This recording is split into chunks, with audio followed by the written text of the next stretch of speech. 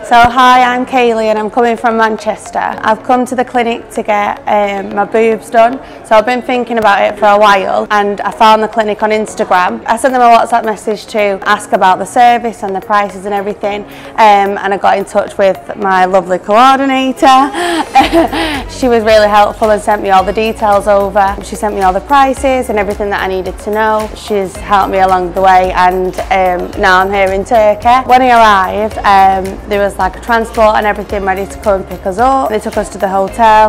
The hotel, my lovely coordinator also sorted for me. we got to the hotel, stayed there for a night last night and then they come and picked us up today to bring us to the hospital. So now I'm just in the hospital waiting to have my consultation and then I'll go for surgery. Yeah, we'll see how it goes. Thank you everyone.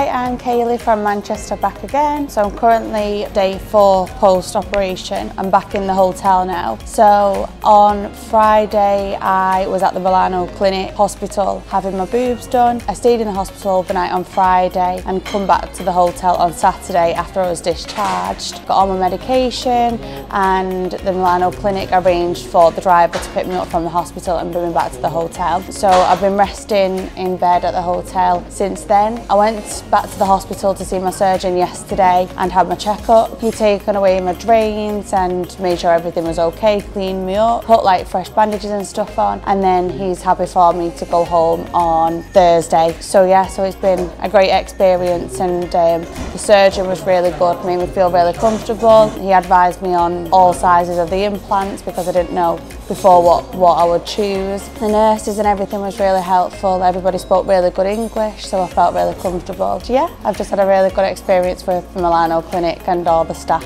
that are involved. So I am happy with my results so far from the surgery from what I've seen. And if anybody's thinking about getting surgery in Turkey, then I definitely recommend the Milano Clinic, somewhere to come to. Thank you, bye.